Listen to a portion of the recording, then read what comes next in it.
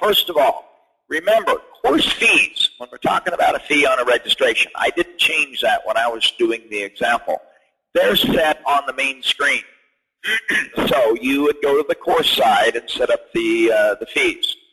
Uh, the other thing is that you must pick, you, you, you have a choice of fees when you're staff and you're entering registrations. Uh, and I'm going I'm gonna run the live on that real quick. Uh, we'll okay save that. I've already now made the payment. Everything's paid off. This is what we're talking about, that if you have fees set up in the course, the drop-down will allow you to choose the alternate fees that are set up for this particular class. All right, back to the idea of assigning fees.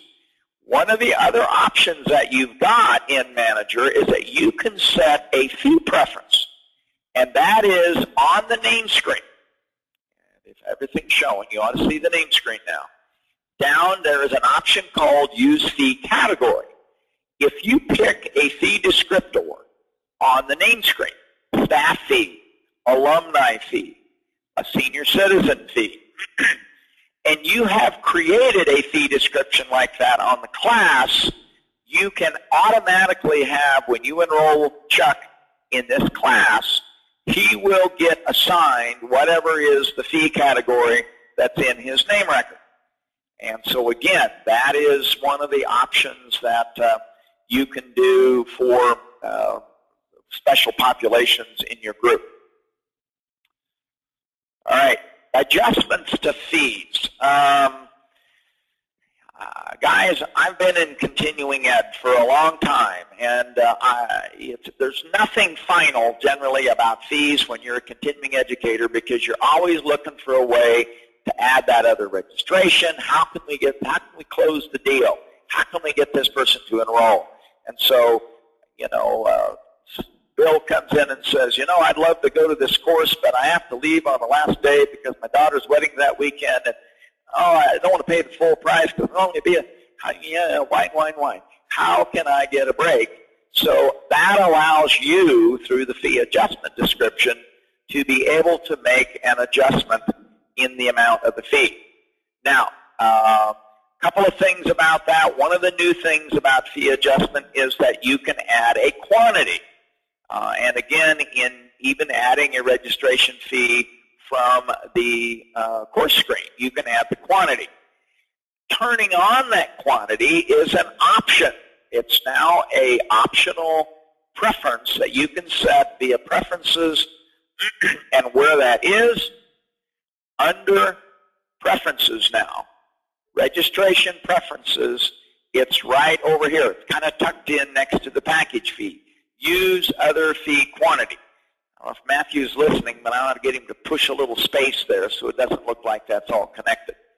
But the idea, this is where you turn on the issue of how many optional fee elements or entities that you want with uh, a registration uh, with an optional fee. And again, if you really don't have a case where you've got uh, like parking, uh, if you're mainly using it for parking permit and you don't buy multiple parking permits, uh, you can turn it off and just not have that uh, show on your on your registration screen.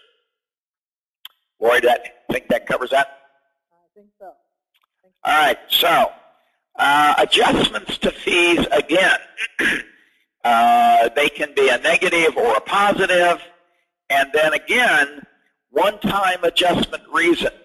Uh, in the past, we've always had a validated option for the fee adjustment. And again, you can't turn off validation completely.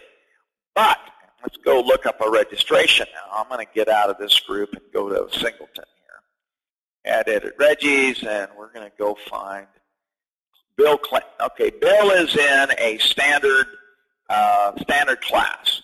So uh, normally, if I wanted to adjust his fee, Bill's the one complaining about that fee. He has to be gone. Can he adjust the fee? So if you click on coupon adjustment and you say additional charge, cancellation, uh, credit, coupon adjustment, scholarship credit, eh, I don't really see one for a whiny attendee uh, or, uh, you know, conflict, partial adjustment. So you'll note now that if I hover over this fee, it says to toggle between validated and open entry, press Alt plus the number 4. So if I'm in the field, hold the Alt key down and press the number 4, voila, that fee adjustment is now open entry. I can type whatever I want to do. You are a whiny student. Adjustment. Adjustment. I have to edit that. And I didn't put in the dollar amount. Uh, let's try. You are a whiny. And so I got to get over I tabbed out of that without putting in a dollar amount, and you'll that it didn't put it up there. So I'm going to put in minus 50 bucks. So that drops in the you are a whining student, uh, the date, and the amount. Um, obviously, you might want to be a bit more discreet as to what you name that. But the point is, it allows you the freedom to put in an item on the line. Okay.